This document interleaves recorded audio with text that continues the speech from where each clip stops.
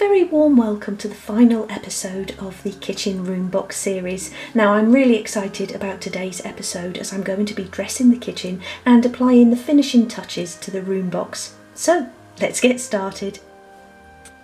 So, the first thing to do when you dress a scene is to bring out all of your miniatures and decide what you're going to use. Now, my colour scheme is going to be blue and yellow.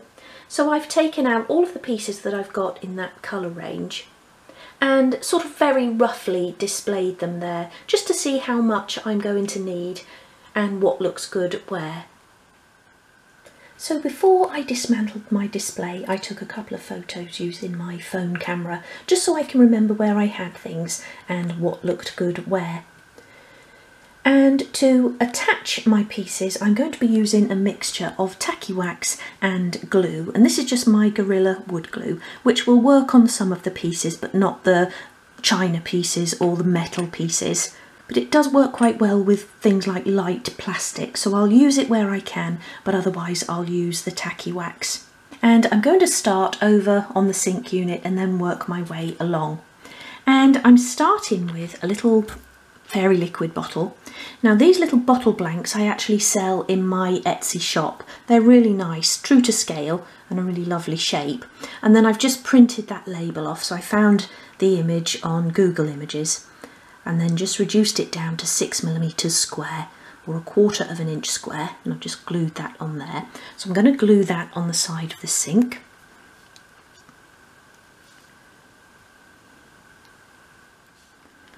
Have that just there.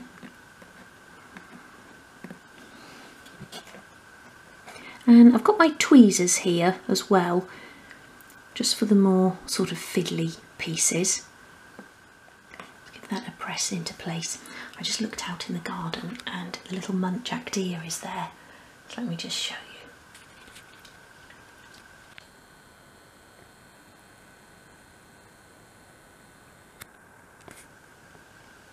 She's been back now um, for about a week and they actually live in that hedge. She might be heading back in there now. and there's her and a male. There she goes. little leg hanging out at the back there. But they're such lovely little things and they come and eat the um, bird seed that we put down. Just really lovely to watch. Okay, so back to the kitchen and I've also cut a little tiny bit of washing up sponge. Now you really do just want to take a tiny little corner and then pull off as much of the sort of green scouring pad part as you can just to leave a little trace of it otherwise you'll find that it looks a little bit too bulky and you only want that to be really tiny. So let's pop that next to the washing up liquid there. Oops.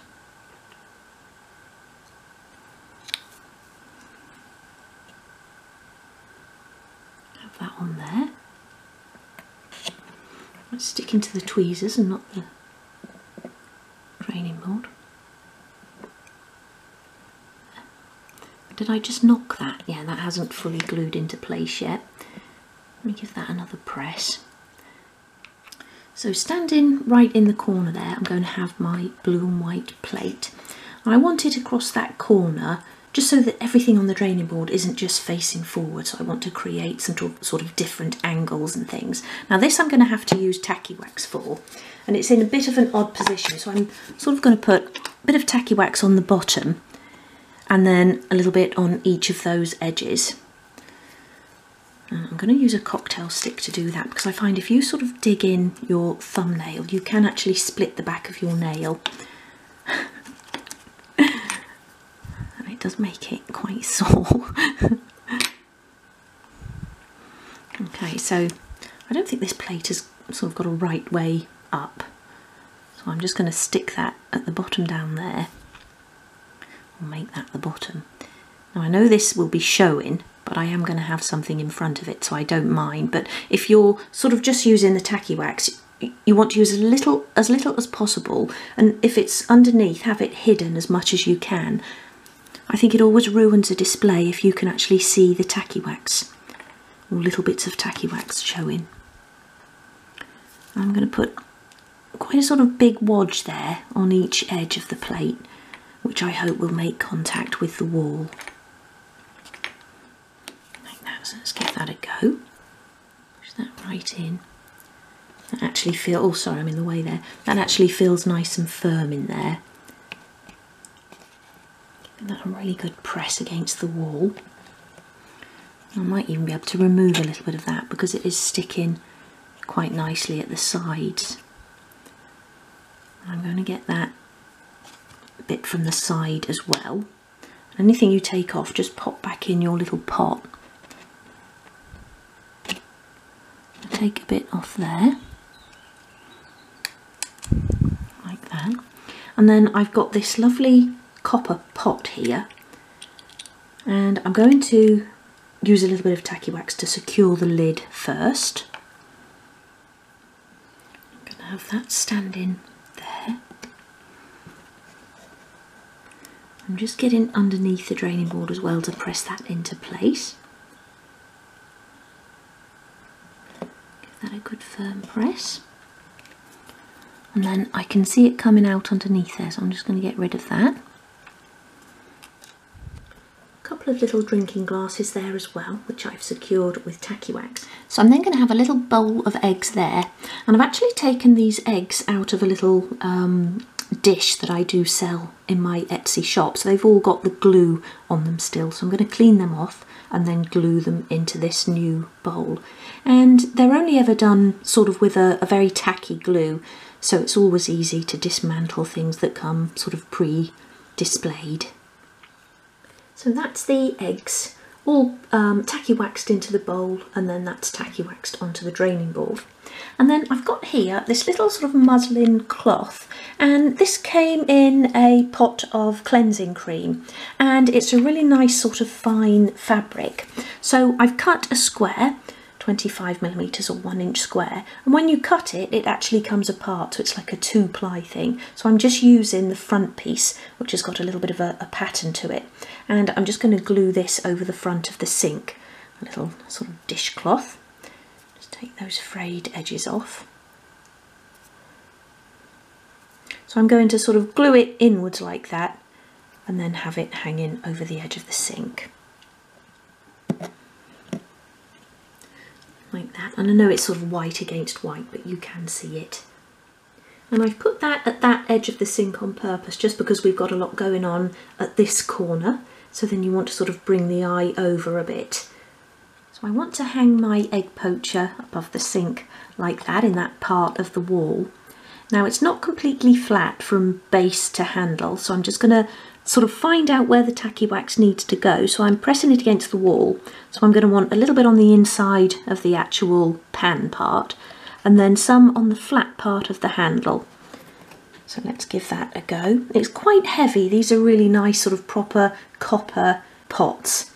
And again, I sell these in the Etsy shop. so I'm spreading that out as thinly as I can on that flat part of the handle. Obviously I don't want that sort of splaying out each side. And then let's just put a little bit on that sort of inside edge of the base there. Give that a good press. I think the actual handle is going to be taking the weight of that. I just don't want it sort of sticking forwards because that wouldn't look natural. I want to make sure that's holding before I sort of let go of it. The bit at the bottom of the pan isn't working, but the bit where the handle is is sticking quite nicely. Oops. And that just adds a nice bit of colour into that corner. And I've put the little strainer on that wall and I'll have a look through my little storage unit in a moment see if I've got some tiny little nails that I can just push into the wall there and there to make it look as though they're hanging. So now I want to move on to the wall shelf. So you might remember when I made the little shelf unit that I wanted the four hooks because I had this lovely set of four little cups. So I've actually put the tacky wax onto the side of the cup, sl slid them over the hook but then pressed them against the wall just to make them look as though they're hanging there. So onto the top shelf there, and I've started off with my little jug. And now I want this plate in the centre. And this is a little plate that I bought from Miniatura the last time I was there. And I actually bought a nice set. I thought this little cottage one really went well in here. Again, attaching that to the wall there. And I've got this little sort of fixed, um, I think it's meant to be a sugar bowl, but it's quite large. I'm having that up on the top shelf there. that in as well. Always put your finger underneath the shelf when you're sort of pressing things into place. Like that. And then to sit in that corner, this is actually a 124th scale little plant, but 24th scale items can work well in 12, 12th scale displays. So I'm going to have that at the end there. I'm going to use my tweezers to get that in there. Oops, it's because I want it facing a particular way so that those um, leaves are sort of at that angle. I'm going to have to press it down with my finger though. Some tacky wax on one of the leaves there, not quite sure how it got up there. So that's my top shelf done. And I'm starting off on the second shelf with a little sort of cookery book that I'd made quite a while ago but I haven't got anywhere else for it so I'm just going to have that standing at that end so I'm going to glue that into place using the old Gorilla Wood glue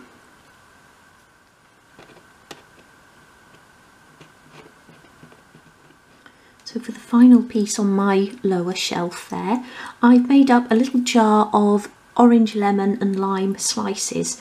And this is a little pack of cane slices that I've had in my collection for a long time. And I thought the yellow would bring out the yellow in the rest of the scene. So I'm just going to pop that in that space there. I've also used a little bit of tacky wax just to attach the lid. I think that looks really good. Now let's move on to the base unit. So I've actually started off by gluing the base unit into place. So I just put a bit of glue on each of the legs, bottom of the legs, and then press that into place. So that's now nice and secure in there as well.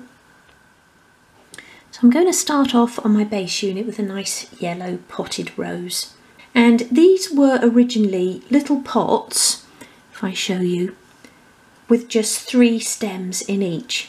But what you can do is just really carefully pull them out of the earth there and then re-display them if you need to. And I just thought it looked better as a sort of larger bunch and in this lovely little pot as well.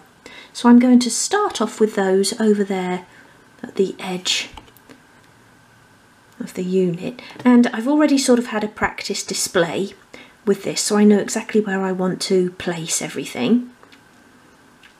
And I'm having that at that side because on the chair over here, I'm going to have a little shopping basket with some yellow roses in it. So again, I want to sort of break up those colour areas. So have a think about that as well, because if you were to then have those there, then you've got the yellow there. You've got too much in one area.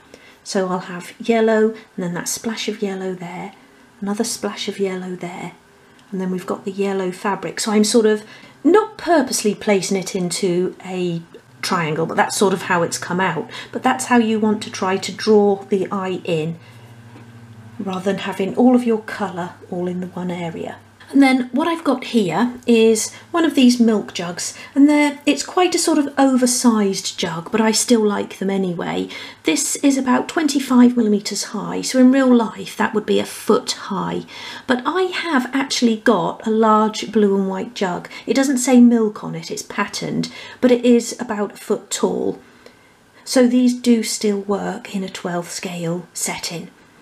And if you work in one sixth scale, the um, fashion doll size, then these would be perfect for that as well. And what I've put inside is just three rolling pins. I've stuck those two in using a bit of tacky wax, but I just wanted to show you how easy rolling pins are to make. So I've just got a piece of 5mm dowel there. rounded over each end just very very slightly just so you haven't got the sharp cuts and then put a little draw knob on each end and you can paint them and do different things with them and I really like making those so I'm going to stick that third one in there and I like using jugs for other things you know um, you can put wooden spoons and things like that in them or your flowers they would have looked nice with the flowers as well. But I'm going to have this at this other end. And again, that's um, purposeful just so that I don't have two bulky items next to each other.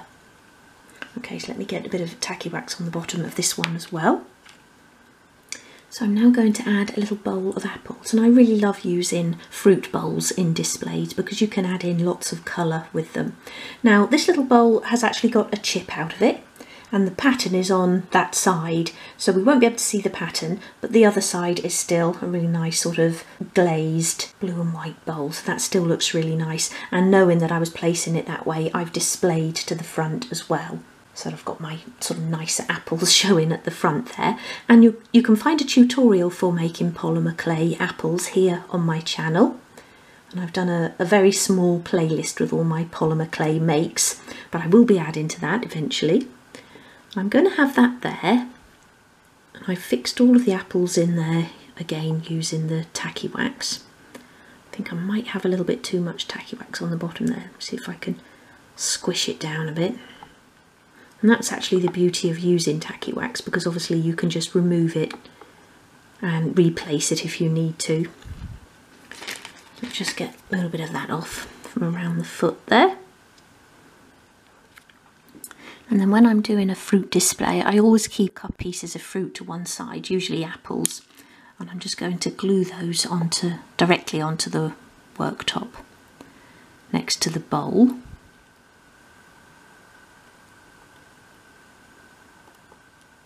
I've got this little fabric covered pickling journal here, again that I made quite a while ago.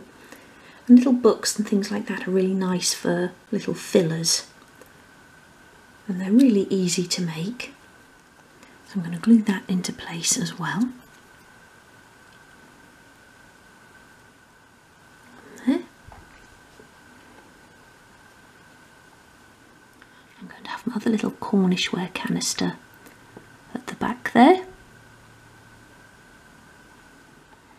Again, these two I've had for many years. They were sort of some of the first miniatures that I ever bought. I'm from a company that's no longer going, um, that used to be called Hatton Woods, and they really did do some really lovely minis, or miniature items. And finally, this little jug. I just really sort of like the three pieces together, the plant pot and the canister and the little jug. They make a nice little trio there. I'll have that there like that rid of the excess tacky wax. I'm really pleased with that. So what I want to do now is come back over here to the sink unit and I've got this little crate here again that I made some years ago used a water slide transfer there for the lettering on the front and I've also got lots of pieces of Fimo vegetables or polymer clay vegetables now I didn't make all of these it's a mixture of sort of made and bought. But I'm going to use them now to make a little display in the crate. So I've just started off with a little bit of glue in the bottom of the crate and over the back two edges. And I'm going to have it stand in at a little bit of an angle, actually like that.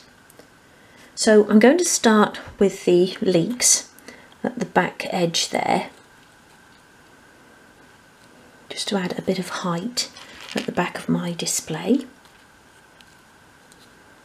I might need to add a bit of tacky wax in here as well where it's not touching the glue. Just sort of get started.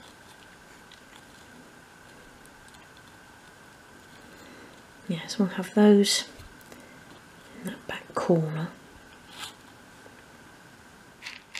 And then I want to fill up the bottom of the crate with some of the vegetables that aren't as good as others. So like some of the potatoes that went a little bit too large and the colouring isn't brilliant so I'm going to use those as a sort of base. They're quite nice ones. some of these red potatoes as well that didn't quite come out the right colour.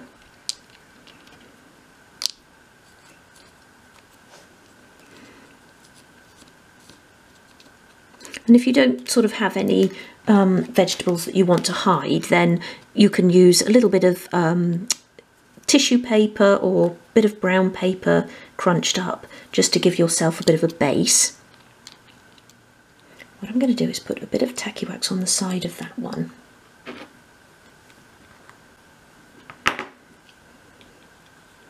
Because that one's not touching the glue. So I'm just building up my crate, working out where the next piece will be touching and then adding a little bit of tacky wax and then pressing it into place. Let's see if I can get another carrot in there. I'm using the um, screwdriver to get the tacky wax out of the pot now because my cocktail stick kept breaking so using something a little bit more solid. I'm just going to pop that one in there and sort of try and do it so that things look as though they're laid naturally. It is quite difficult because with the tacky wax things are all sort of moving around because it's obviously not solidly glued. But if you can get them to look like they're actually laying on top of something rather than just sort of sticking up at an unnatural angle, then that works better. I actually want to see if I can get maybe a thin parsnip in there. Oh yeah, that's perfect. made for that little spot. So there's my little vegetable crate and I'm going to glue that straight to the floor under there. Again using my Gorilla Wood glue. Have that at a bit of an angle. Give it a good press. And you know if you didn't want to do a crate of vegetables you could perhaps have a log basket or something underneath your sink or just some nice jugs or copperware. And there's a tutorial on the channel here for a wicker look log basket if you want to have a go at that. And I imagine there to be a lovely sort of range cooker in another part of this kitchen. Like that. And then again I've saved a couple of potatoes here that I'm going to glue onto the floor just in front of the crate just to make it look as though they've fallen out there.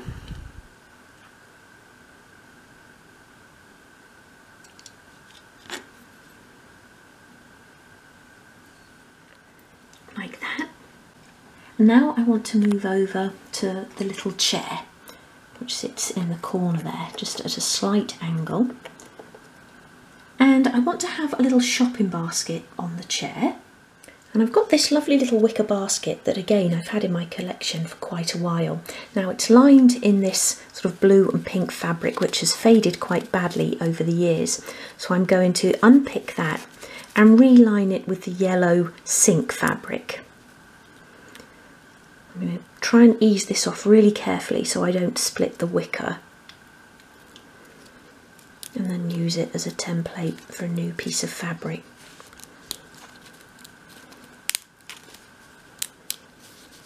I've actually used two pieces there, makes it a bit easier. So I've cut two pieces of fabric there and glued over a hem on each. And then I'm just going to apply glue again to the other side of the hem. This will go around the top edge of the basket. Like that. So glue it so it's sort of sitting in the centre of the basket there. And you just want each piece of fabric to wrap around to where the handle is. So there like that. Don't worry if those edges are a bit frayed because we're going to be tucking those in. Like that. This just gives us a nice border around the top of the basket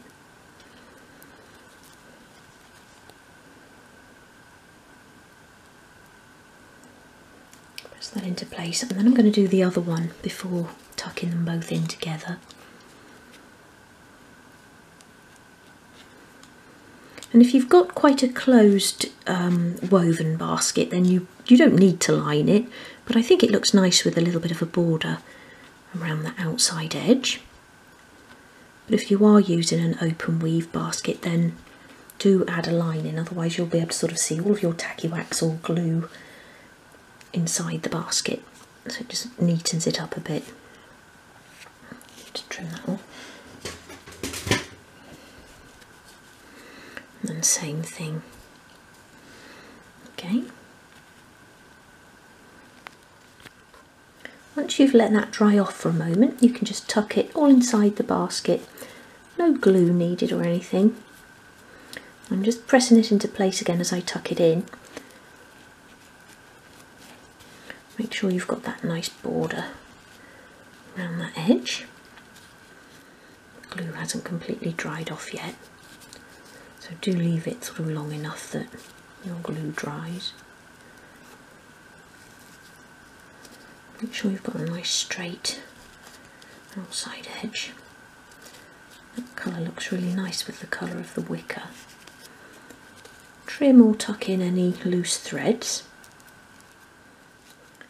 So I've just folded another little piece of fabric in the bottom there and glued that into place just to give it a little bit more height inside the basket so that our items stand out a little bit more. And I'm going to use tacky wax to secure the items into place. I'll start with that French loaf over in that corner. And I had a little play around beforehand as well just to work out where I wanted everything to go. So that's a good idea to do that.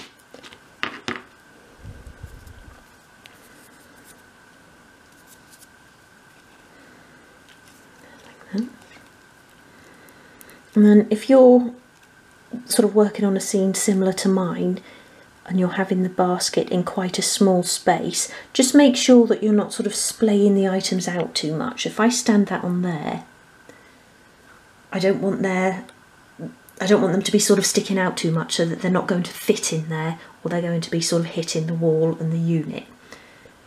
So I'm just going to stand that French loaf up a little bit. Then I'm going to put the wine in.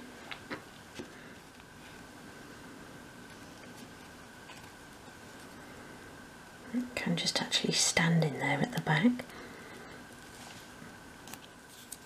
I've got a couple of little Doll's House magazines here, so I'm going to pop those in next.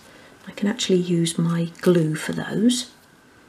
I'm just going to ease those behind that bottle there and sort of standing up quite high as well. And then what I want to sort of do over here is use my little paper roses. Uh, I'm going to trim the stems down as I just sort of want them coming out at this side of the basket in a little bunch. So I'll trim them down and then I can just use another stem to wrap around the base.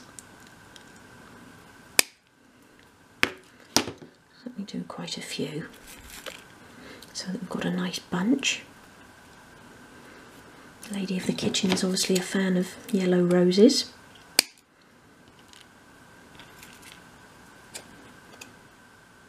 So I've got a bunch of 12 roses there and then I took one of the stems and just wrapped it around the others just to secure those together and now I'm going to attach these into the basket so I've bent the stems over like that so they can sit right in that corner I think that will look really nice I am actually going to use a bit of tacky wax on the base of the stems there. I'll just sort of put a big chunk on and then press them into place inside the basket. Just want them sort of hanging over that corner. Go down like that. And these sort of little paper ones with the wire stems are really good for miniature work because you can sort of display them and move them around like that where you want them to go whereas the sort of polymer clay ones are, are sort of set really in that position. That looks really nice. Just have those hanging over a little bit more. I'm just going to try it on the chair again. Just make sure I'm not sort of displaying out too far. No, that's perfect. And then I've just sort of got some little bits and pieces here. Um, some little food packets and things that I want to put in this little area here. Toblerone there, Matt's favourite chocolate. I'll have that come in over that side. I think it's nice to put little personal touches like that in if you're making something for yourself. Favourite cakes, favourite chocolates. Jam tarts, that's definitely one of my favourites. I'll have that sitting at the front there, I think. Maybe just sort of angle slightly backwards. Again, always make sure that it's sitting naturally. In fact, I'm going to use glue on this because this is actually just a hollow, empty packet. It's not sort of wrapped around a piece of wood or anything, so I'm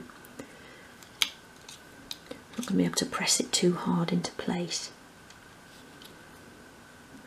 Like that. And I've got another chocolate bar there, which I've used in a shopping bag before, so when I removed it, it removed some of the paper. But I can actually hide that in the front of the basket there. So never sort of get rid of things if you slightly ruin them. Same as the little sort of chipped fruit bowl. Always keep hold of things.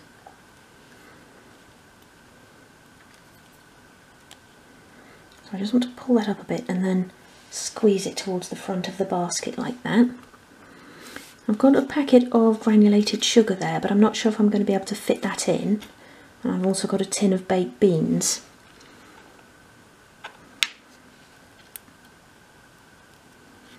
If I move that Toblerone forward a bit, I might be able to get that granulated sugar. Oh, I need to put my glasses back on, I can't see if that's the right way up. Yep. I must admit, I actually did that earlier and stuck the um, fairy liquid label upside down on the, on the washing up liquid bottle. I'll put a bit sort of around the front and sides as well. I'm not sure how that's going to sit in there.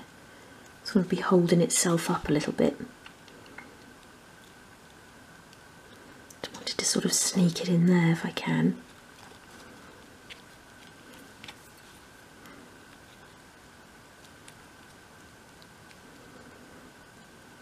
I'm just trying to turn it a little bit. And then that little gap might actually be perfect for the baked beans. And again, this is a little tin that I've had for a long time. No, that's not going to go in there, so that's a bit, little bit too big. So I'll just jiggle those things around. Don't mean to push that backwards. Let's tilt that over a little bit. Pull that up.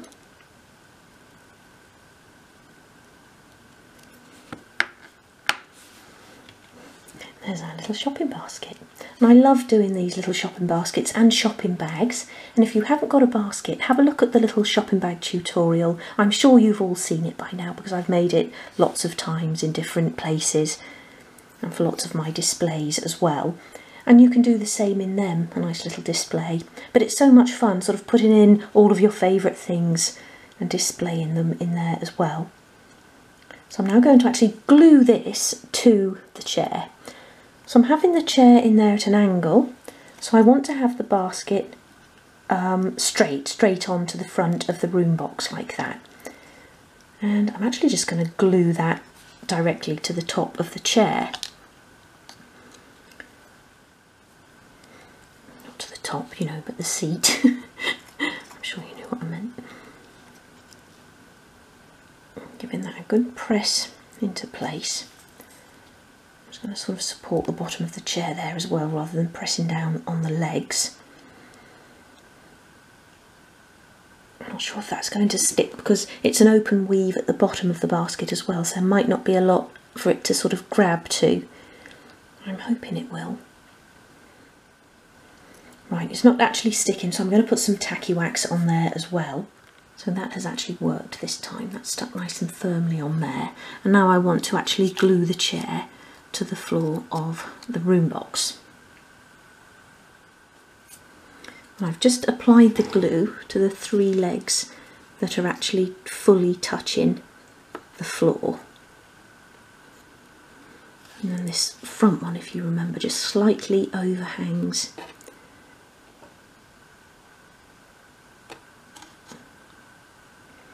Again, press down on supported areas, so I'm sort of pressing at the top of the leg there, and then at the top of that back leg as well.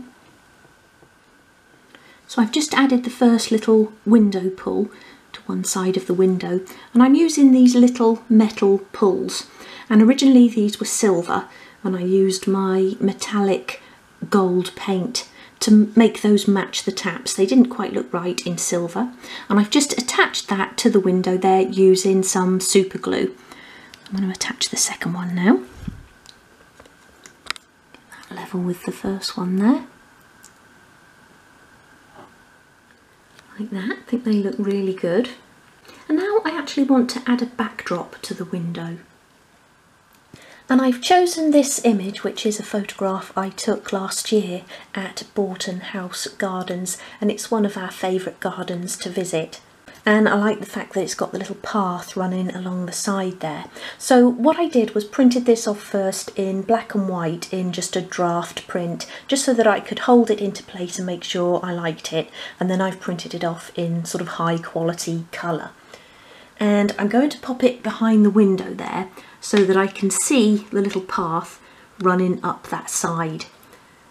And I think that looks really nice. So choose something that's got a bit of scale so that it doesn't look like everything's sort of stuck to the window. So if you can find something with a path or something that actually goes off into the distance, then that will work better. So now I'm just going to glue this into place behind the window, like that. And then I've got here my torch, so I'm just going to shine that at the back of the window there. And if you can sort of position your room box so that you can have it in the window so that the natural light is coming through, then that does look really good. So all I actually need to do now is complete the front of the room box, or the door if you like, and then we're just about done. So I attached a piece of acetate into the back of the frame using Deluxe Materials glue and glaze and I just squeezed that all around the outside edge. I'm using a piece of A4 acetate which I cut to size, that just needed a little bit trimming off top and side. The acetate has now completely dried into place, so all I need to do now is actually put the hinges back in at the top of this frame. I don't want to do that yet because I want to get loads of lovely photos inside before I sort of close it off. But there is our completed room box and I'm really pleased with how it looks. And this is now going to take pride of place in my own kitchen and it's something that I shall enjoy looking at every day. I really hope you've enjoyed this series. And now this is complete I shall be returning to my doll's house. So look out for new episodes of my doll's house diary coming soon. And if you have a go at making a room box or a shadow box or a shadow frame please do share photos to my Facebook group Little Bits and Pieces by You. And if you're not already a member, just pop over to my Facebook page where you can request to join, and I'll pop a link in the description box below. But that is it for today. Thank you so much for watching throughout the series, and I'll see you again soon. Take care. Bye.